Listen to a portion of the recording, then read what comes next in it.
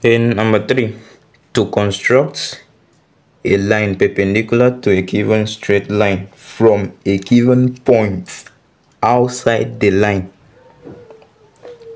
So we have a straight line AB then we need to find a point or maybe you you pick a point outside this line. Let's say let's call it M then the first procedure with center M. And with any confidence radius any confi confidence radius you you draw an arc.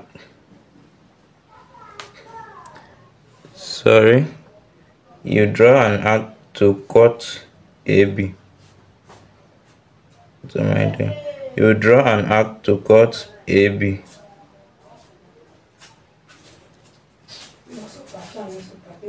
to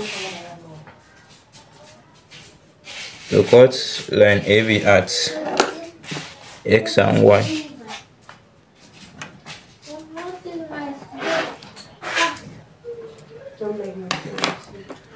Then with x and y as center.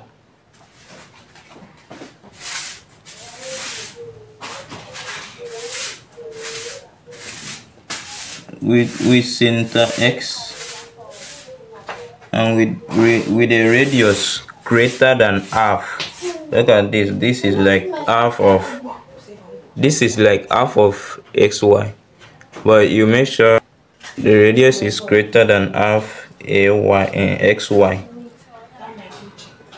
Let me make it obvious. Okay. You draw an arc.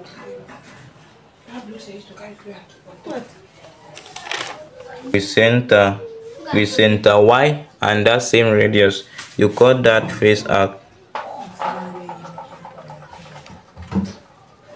sorry this this line is not part of is not part of the construction. That's why I say when you are using, doing your construction you should, you should use a pencil. Because like this you can clean it out I'm using pen to do my own. So you you can call this our Z. You can call it Z. Then you join.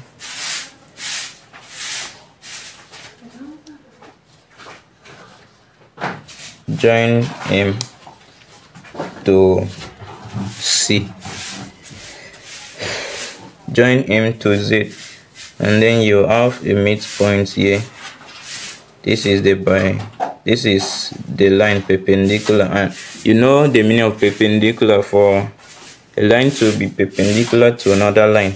This angle the angle between them must be 90 degrees. So in other words you are constructing a 90 degrees. And if you want to check if you want to check whether it's 90 degrees you can use a protractor. Let's call this point o uh, you can use a protractor to measure this. This is how you can see.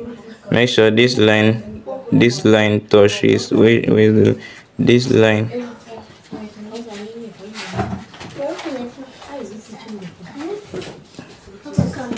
Check it out. This is the line.